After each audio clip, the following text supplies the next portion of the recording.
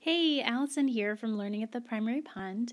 In this video, I'm going to explain how I group my students for literacy centers in a way that allows them opportunities to work with similar ability peers as well as um, different ability peers.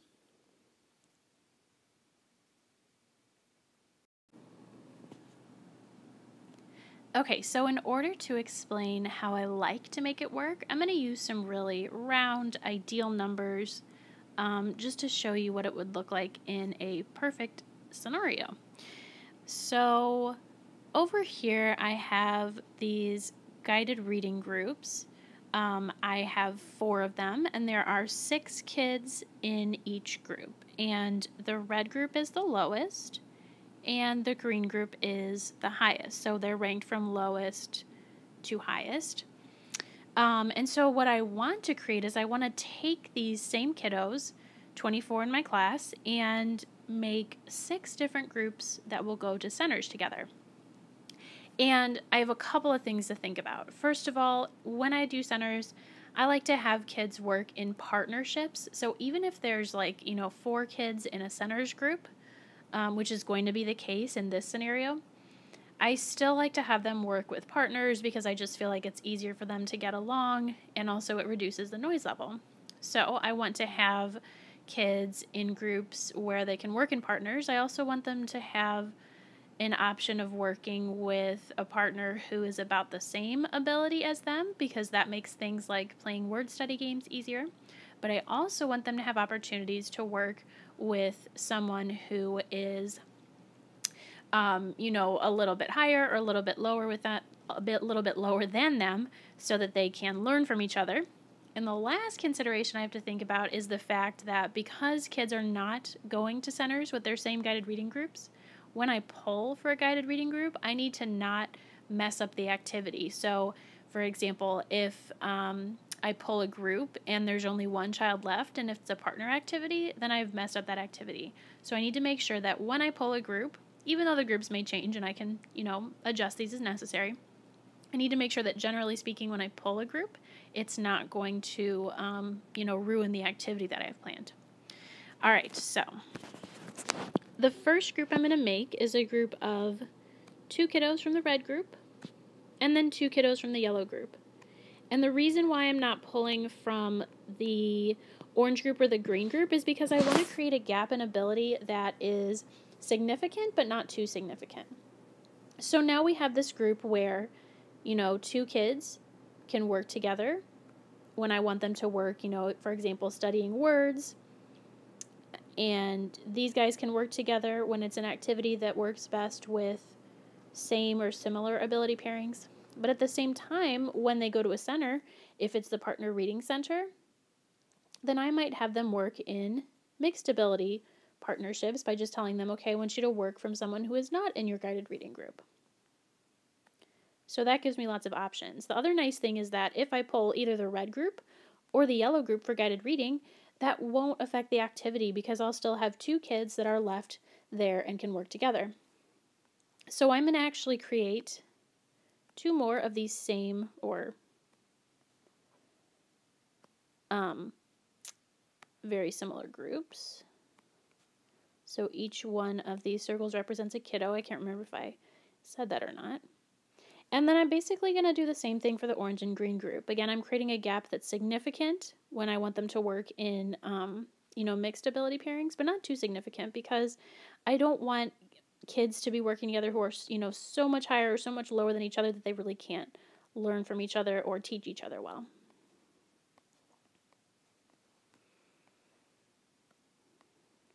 Oops.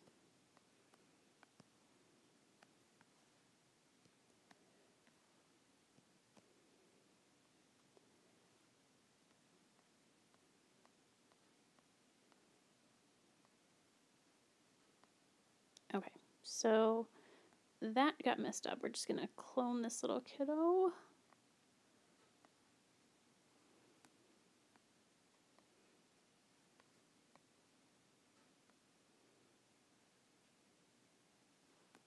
Okay. So now what we have are we have six different centers groups. There's four kids in each group. They can work with partners who are about the same ability or a different ability than them. And when I pull a guided reading group, it's not going to affect the activity because most of my activities require only two kids. So that's what this would look like in an ideal scenario. This is kind of what we want to aim for. Okay, so now let's look at a scenario where the groups are not as round, not as even, everything's not as neat. And I'll just walk you through my thinking um, of what I would do in this situation. So let's say that we have five guided reading groups instead of four, and then we still want to put our kids into six different centers groups, and we still want all of that stuff to be true where we can, you know, have kids work work in mixed ability or similar ability partners, and we also want to be able to pull for guided reading without, you know, disrupting centers activities. So, again, we're going to try to create a difference between abilities um, within the groups that's significant but not too significant. So let's just start with some red yellow groups.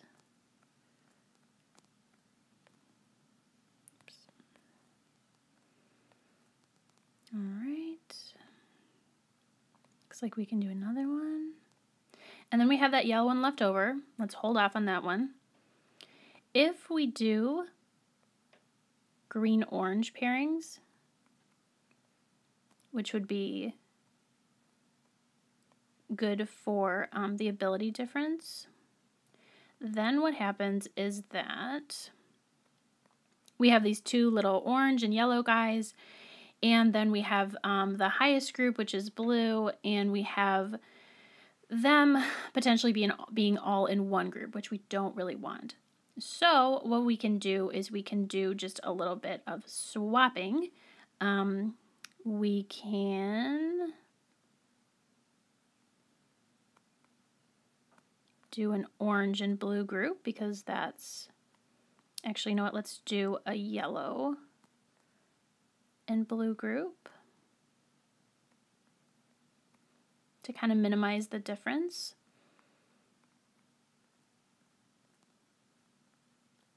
Let's do that. And then let's do that.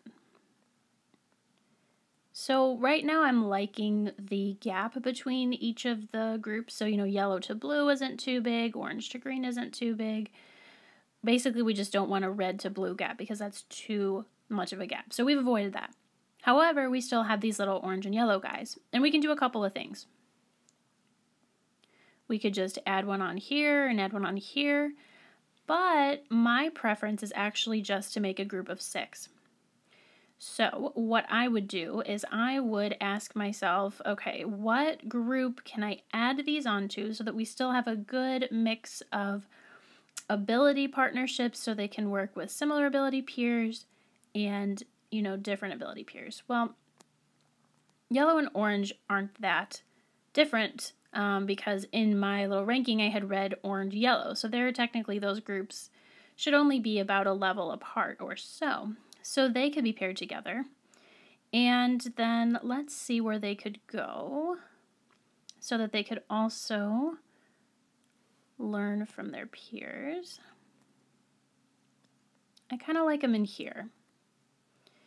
So that way the yellow guys can learn from the blue guys um, the orange guy can learn from the yellow or blue guys, and everything is more or less even. So that's kind of how I would handle a situation where we don't have an even number of groups and we have to do an extra group of six. Um, obviously, your situation will kind of depend on your numbers, but if you use sticky notes or play around with an app like Explain Everything, that's what I'm using to create this then hopefully you can work out something that will meet all of your needs and also put the kids in groups that will work well.